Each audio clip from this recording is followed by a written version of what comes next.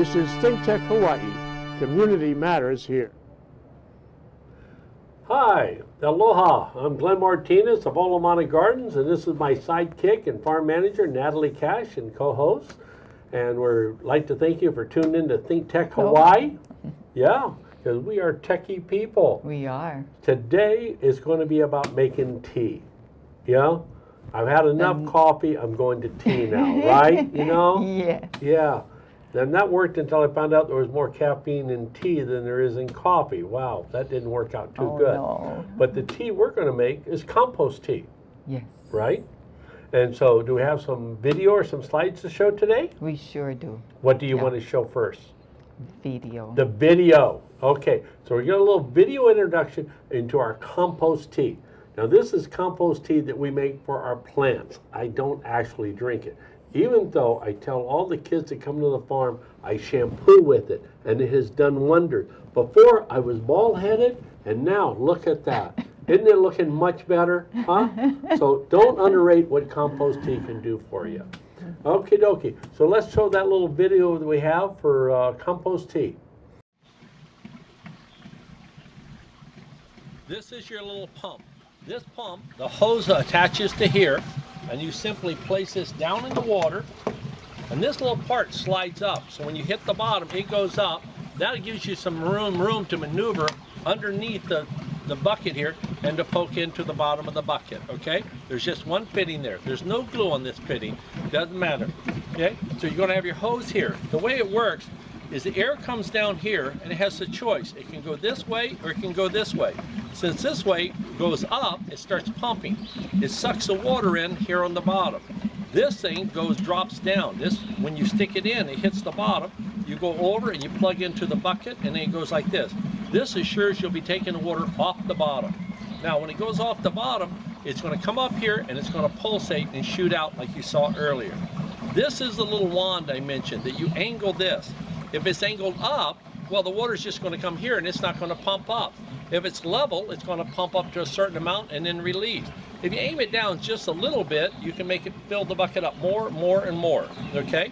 If you go down too far, you will fill the bucket all the way up and the water will be coming out on the sides, okay? So it's pretty self-explanatory. It's on a threaded fitting so it won't fall off or anything like that. You can just tighten it up to whatever little tension that you like, where it'll stay where you put it, okay? So you just walk over like this, and you'll simply put this in your 50 gallon bucket, reach under, and poke it up into the five gallon bucket. That's all there is to that. I've got that one on and running. You can hear it pulsating right now. Okay, so what you saw there was just a quick view. It's a 55 gallon drum set on some cinder blocks, okay? And on the top of it, I put a couple of boards across and I put another five gallon bucket. Mm-hmm. Now, the secret is inside the five gallon bucket. We go to bakeries where they sell things in metrics. All the strawberry toppings and the lemon fill Oh, topping, they come in metric. Food Turns out they, grade. they, they're about four and a half gallon bucket. So the bucket, the, the white bucket that went inside the orange bucket is really only a four and a half gallon bucket. Why is that important? Doesn't stick together. right, Right? yes. Anybody You ever got two five gallon buckets and try to pull them apart? That's agony, right? Yeah. So what we do here is in that top bucket, we put in a, we drill lots and lots of holes through it so the air and the water can come through. I put in a five dollar Home Depot, Hardware Hawaii kind of uh, paint strainer buckets. They're like strainer. two for five dollars, two for six dollars, and basically they're a five gallon net strainer, right? And uh, you strain the paint through it, you know. Yeah. Not to show how old I am, but I remember when we used to use ladies' pantyhose. Oh. But I don't, It don't I don't stretch know any the ladies five that don't, gallon. don't, don't stretch to five gallon. It takes a big girl, right? But we want to strain the uh, paint, you know, so we don't get lumps to spray up our head. Mm-hmm. In my case, I want to keep all the worm castings inside the net bag. Yeah. So today I brought, just in case Natalie wanted a snack in the middle of the show, some worm casting. And this is it. It looks like coffee grounds. It's fine. It's very, very lightweight, as you see here. Okay, and it smells very clean. No odor. Yes, Huh? We have three Arabian horses, couple of goats, 200 chickens and ducks, and they're pooping all over the place. We pick up the poop, we feed it to the worms, The worms digest it. It comes out odor-free and sanitary. Odor free. That's Yep, what our no farm flies. is about. Huh? That's what our farm is about. That's about. odor Yep, yep. free. In fact, is we laugh that sometimes when we go uh, on the farm, if you uh, if you're sitting over in the pavilion and you open up some poke, the flies are on you. You go over in the barnyard where there's 200 animals and there are no flies Yeah. because there's nothing there to attract it. Isn't that funny? Yeah. You know, it's kind of. But a lot of people say, so what's the big deal with the compost tea? Well, my inspiration, okay, in this is a guy named Sir Albert Howard out of England. About 1903, 1905, this guy graduates from Cambridge University in England, and they send him off as an agricultural extension agent to a place called Indore, India. Well, I thought it was like indoor, outdoor Okay. right? Indoor, outdoor. I said, wow, he said indoor gardening. Wow. No, indoor was I N D O R, is the mm-hmm. name of a name. community mm-hmm. in India. So they send him there, and he's very well funded. He's got a 300 acre place, and they have money for tractors and all the modern stuff of the time, right? You know? And he said, no. First, he would learn from the Indians what they do. So he went out and studied what they were doing and then went to see how he could improve what they were doing, not just come with his English ways. Because Yeah, one thing he quickly great. realized the local peasant was not going to go out and buy a tractor. Wasn't going to happen. If- And yeah. And I believe when people go to learn from people or get more information or teach them, you come back with much more information. That's right, right. And, and my boss, Dr. and partner, Dr. Benny Ron, who brought Natalie and I to the Philippines for several trips, he also brought us to American Samoa and that, and, um, and referred us on to China. You know, he's been a great inspiration in my life. And I thought it was odd when we go to the Philippines and we go to university and we're there to teach. Yeah. And he would get up and say, I'm not here to teach, I'm here to learn. I thought, what an odd thing to say, right? But after a couple of trips, now my favorite saying is, we go there to teach and we learn a lot. Yeah. Because you learn a lot from the other team. Yes. You know, what they're doing. That's right? true. And what worked. Plus that, we think, we tend to complicate things. And when we go to developing countries and that, they tend to simplify things. You know, mm-hmm. okay? And so one of the things is, people say, what's with the compost tea? Well, here, because I'm an aquaponic guy. So in aquaponics, we say we feed the fish, the fish eat the food, they poop in the water, they pee in the water, they breathe in the water. All this ammonia is in the water. It's going to poison the water. And anybody with an aquarium knows you got to change out a third to half the water every week and give them new water. Then the saltwater guys come along. They go, wait a minute, we'll put a biofilter on it, or we'll salt, freshwater guys and saltwater. They'll put an undergravel filter. Oh, The fish poop mm. gets sucked down in the gravel. Mm-hmm. The bacteria decomposes it, and it's a nice balance, right? And it increases how many fish you can have in a tank, right? Mm-hmm. So uh, before they used to say one inch per gallon. So if you had 50 gallon fish tank, you'd have 50 little fishes or 10 larger fishes, etc. And so there was a ratio. But all they were doing is getting rid of the fish poop, right? Yes. I mean, they just want to get rid of the poison, mm-hmm. right? Mostly ammonia. Well, aquaponic guys come along, they take the fish water and it turned the ammonia into nitrite, then to nitrate, Yeah. and that's a form of nitrogen the plants can eat. So we love to grow leafy green things. Think lettuce and bok choy and all the the herbs and spices and that do great. Very nitrogen rich, like tomatoes and that. Or for our cash customer, marijuana. Boy, the, mm-hmm. the fish water does fantastic. But it's kind of like living on chocolate. It will, it will hold you over to a meal, it'll give you some quick energy, but it's not really a complete meal. So what we do here is we say we do the compost tea. Not for the nitrogen, we're getting that from the fish water, okay? Mm-hmm. We're doing it for all the trace elements, right? Yes, that's You know, true. The, the zinc, the iron, etc. Yep. So we're in our ninth year without mm-hmm. buying any chemicals. That's right. We don't buy any herbicide, insecticides, or pesticide. Think side means to kill. That's skull and crossbones, side. It's a killer. So we don't buy any killing stuff. But we also, we don't buy chelated iron. I think the first year we fooled around When we some. first started aquaponics Yep. and the plants were looking so anemic, it Yep. was like the plants were yelling that they said, "Oh, they need iron. You need chelated iron. What's chelated iron? Well, that's iron that will actually dissolve in water. Well, doesn't everything rust in water? Yeah, but chelated iron much faster in that. Then they say, don't put too much, you'll shock the plant. then they say, oh, you got to add potassium because Yeah. the fish food has no potassium or phosphate. Yeah. So you got to add that. So then we were certified organic, right? Full on certified organic. So we go down to buy potassium, and it was $85 a pound, Yeah. and I needed 20 pounds. And I went, wow, well, I'm, I'm a little pake for that. I, Yeah. I just, wow, 80 $85 a pound for certified organic potassium. Okay? That was an eye opener. That was it. So we said, what, what are the other ways of doing it? And they said, well, you could go down to Waimanalo Feed Store, you know, or the aquaponics place, and you could buy oyster shells. Take the oyster shells, throw the oyster shells in the water. If the mm. pH is below 7.0, they'll naturally dissolve and bring the water up to 7.0, which is neutral in the pH scale of 0 to 14. 7 is neutral. It will come up to 7, and that's it. They'll just sit there until mm-hmm. they're needed. Mm-hmm. So that was a way to be certified organic, not pay $85 a pound for some foo-foo chemical to throw in the water, right? Yeah. And that. And so we got away from it. But then they said, oh, you need the chelated iron. Oh, you need zinc. You need this. And people are buying sea kelp. And everybody I talked to was buying stuff. And I Yeah. thought to myself, buy chemicals or buy beer? Yeah, well, I went for the beer, right? Yes. I thought the beer was more natural, But right? you came up with a tea maker, Glenn. So we did a tea maker. We did a 55 gallon tea maker with a five gallon bucket on top of it. Okay. Mm-hmm. Yes. Do we have some sli- other slides to show? Yeah, so what, what we're gonna do here is show you guys how we grow our compost. Grow the compost. Grow the Okay. compost. Okay. So So we can start, uh, Ah, this is our worm bin. now this is a worm bin, and it was made in Australia, and they won awards for it. They made everything out of recycling material. It's round, and it has holes in each layer. So you put the worms in the bottom layer, and you feed, feed, feed. Then you put the second layer, you feed, feed, feed. You get to the third layer, you just keep adding your garbage and adding your garbage. And see all the little worms in there, those little purple stripes in there?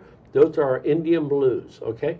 They eat it up. No odors, no smells, no flies. Just to let people know, this is actually food being turned over by the Yeah. worms. That's hundred percent food going Yes. to become dirt, right? Like the bag of dirt I have here, Mm-hmm. okay?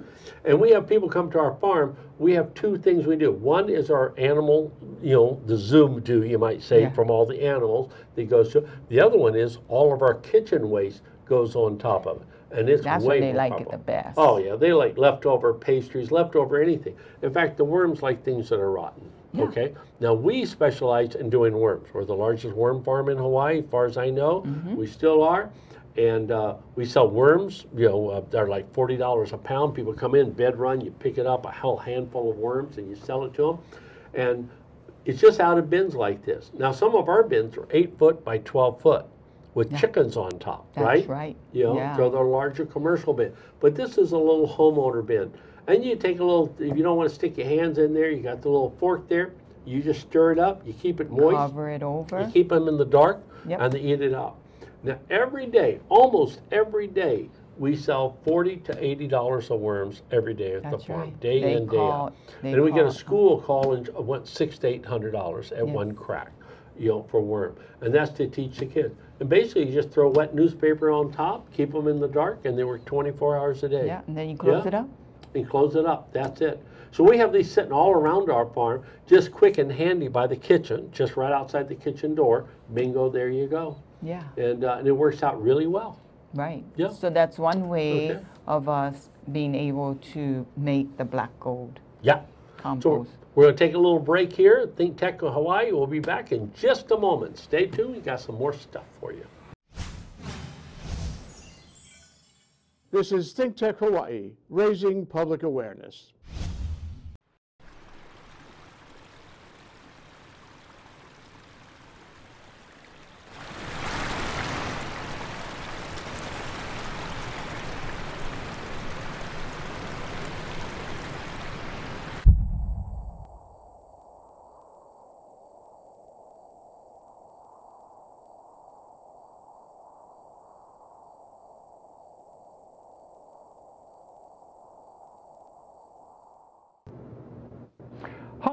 I'm Ethan Allen, host of Likeable Science on Think Tech Hawaii.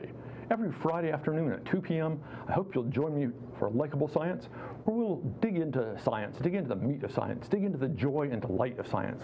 We'll discover why science is indeed fun, why science is interesting, why people should care about science, and care about the research that's being done out there.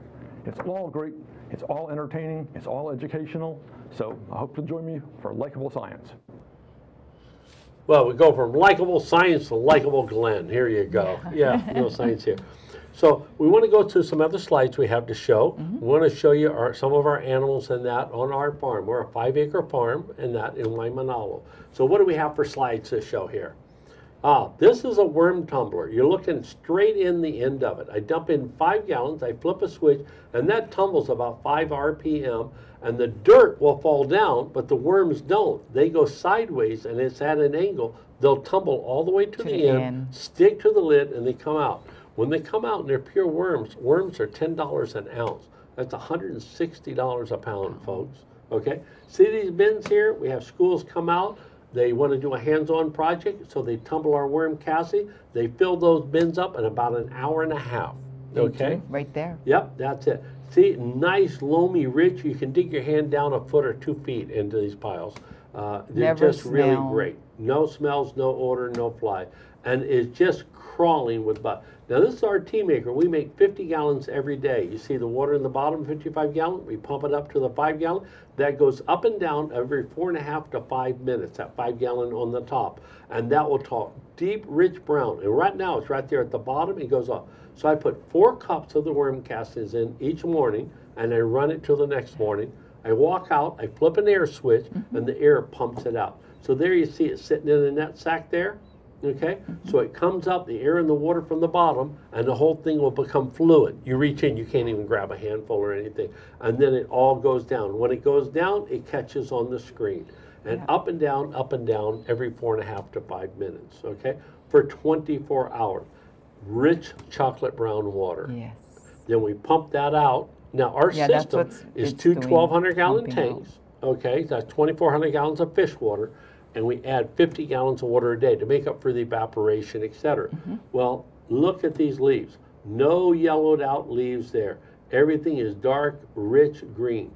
Our pineapple, which is normally a two year crop, we get it in seven months and that. So we have a lot of fun crops we do, a lot of pepper. This is ginger. We do a lot of ginger and Turmeric. looking very similar is turmeric. This one is turmeric here and that. And the ginger is just whiter.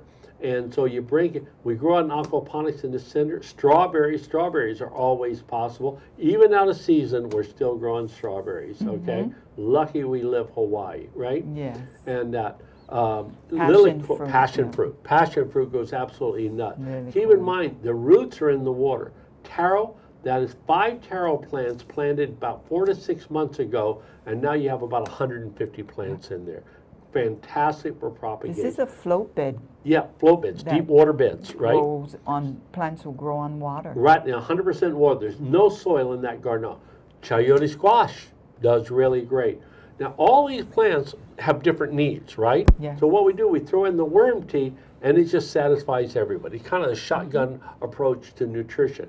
Here's the beautiful thing is, it doesn't matter if I have too much of something because it will not burn the plant. It's like saying you have too much topsoil. There's no such thing. Yeah. So we don't have to worry about it with worm tea with that, you know, on it. So it's good fun. And uh, so we'd like you to see this. This is taro. These are four by four foot fiberglass beds. The water goes up and down every 15 minutes. Now we're not going to grow this taro to maturity in there. We now grab it and take it out to the field and you spread it out. That's what we're into. This is called the mosquito plant. It's um, uh, Water Azolla. fern, We do yeah. water azolla. It's a fern plant. And what it does, it will blanket the water. We take out half every morning and the next day it's full.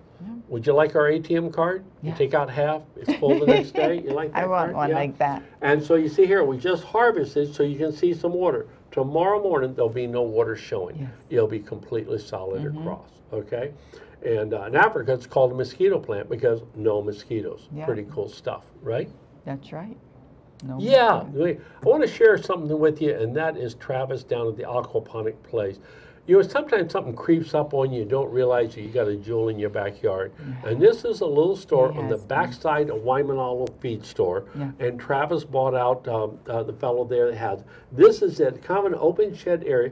He has aquaponic systems set up, that's his little blue office there, painted wall, but he's got different setup. But this is where I buy all my stuff, okay?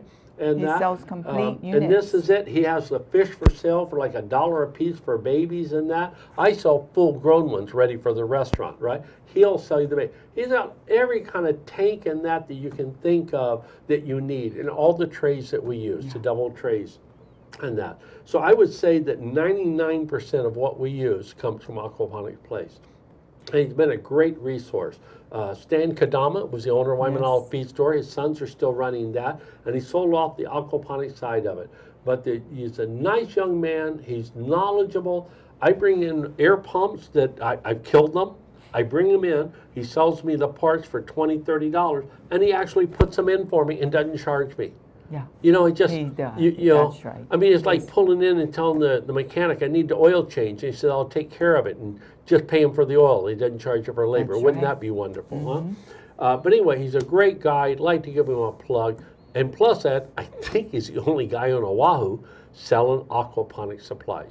Right. We have a couple of hydroponic stores, one in Sand Island, Yeah. one in Kahala, right? But they're strictly They're not the hydroponics. They have not really gotten into the aquaponic. But he's a great guy. His prices are very reasonable on it. Mm-hmm. Pretty much, I'm willing to buy local as long as it's in, within 10% of what I could buy it on the internet. Because by the time you buy it on the internet and you ship it, well, you might as well drive down and support your local store. But Travis is really good people. Yes, and, and that's important for him. And I have brought him in some motors that are just basket cases Yeah. and leave them, come back and pick them up two days, and he says, you owe me $18. I go, wow, it was a $195 pump. And for $18, I mean, he's a very nice young it. Man. That he does a great service. But he's extremely patient with people. Yes, and he he brings in things our local hardware stores do not. Shut off valves, the filters, different Palms, things for the air fish. palms, water Yeah. palms.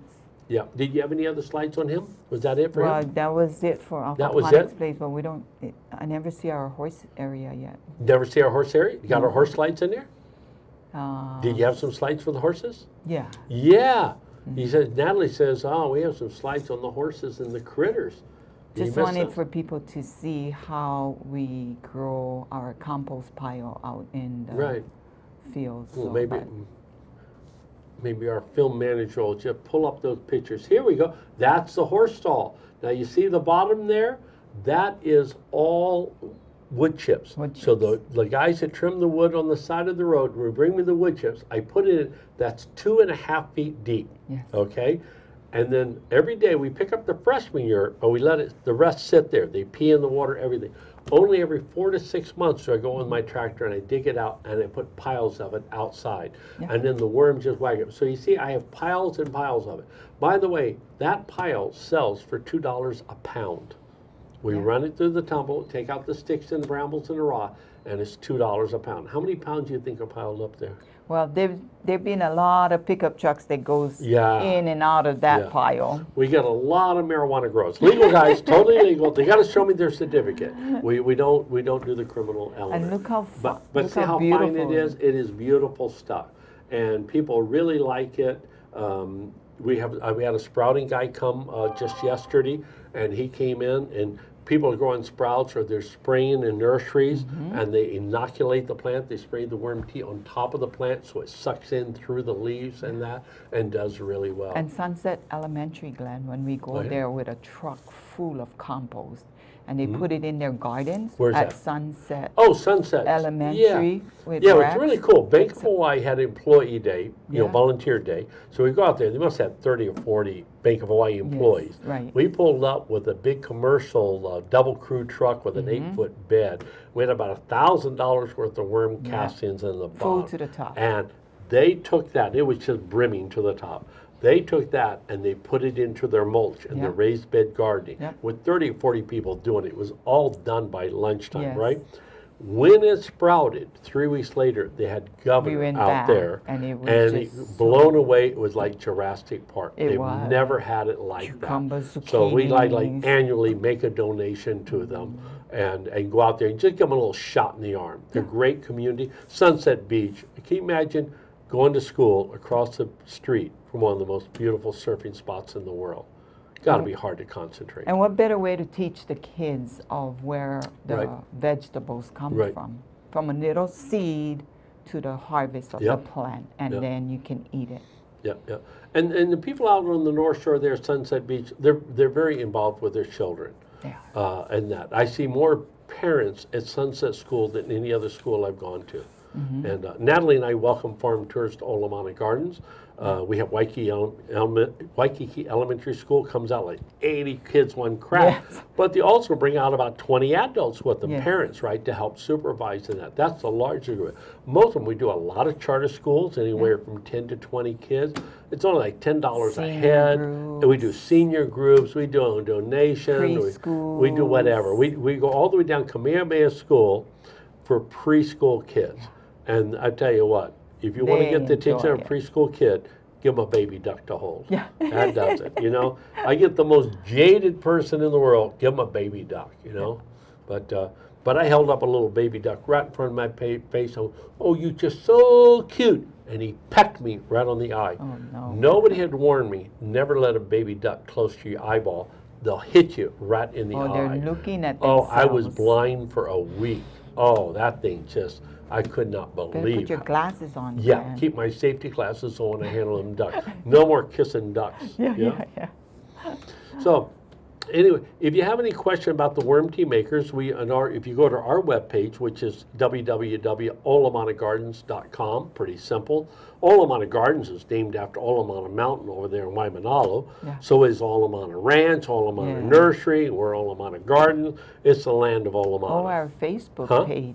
Our oh, Facebook our page? Facebook page is Olomana Gardens in Waimanalo. Olomana Gardens at Waimanalo. That's our Facebook page? Yes. Very good. Yeah. And so if you go there, you'll see it. We also, we sell little books on how to make these tea makers, like 50 bucks or something like that. And you can do it, or people come out and buy complete tea makers. Our tea makers are out at, uh, uh, uh, what is it out on the North Shore? Um, uh, Brigham Young, you know. Mm-hmm. oh uh, yeah, BYU. at BYU. They have one of our tea makers. Uh, they're over in Kauai, the Big Island. We've shipped them to all the. We've shipped our tea makers all the way to from China all the way to Africa. We put all everything inside, screw a lid on it, and, and you ready for this? I boxed the 55 gallon drum the first time. Yeah. I went down to Young Brothers and they said, Why do you put a drum in a box? We looked around, there all these drums, and they can pick picking up with forklifts. So you come up, clamp them, pick them up. After that, no more boxing. We just put everything in the drum and we just put packing in there so it doesn't rattle around too much. But the air pumps, everything, you get everything you need, we Yeah. ship it to them. Mm-hmm. And so, but it's simple enough. Most farmers will buy one from us and then make the additional mm-hmm. ones. You know. So that's about it. We're coming close to wrap up time. I hope you enjoy it. Uh, here at uh, Think Tech Hawaii, we try to make it interesting, but we also try to educate you. So make compost tea. You can't go wrong. All the micronutrients and that. And one of the days, I'm gonna warm up a cup and try it in the morning just to see what happens. But we thank you all a lot for tuning in. Think Tech Hawaii, Natalie Cash, Glenn Martinez. Take care. Aloha.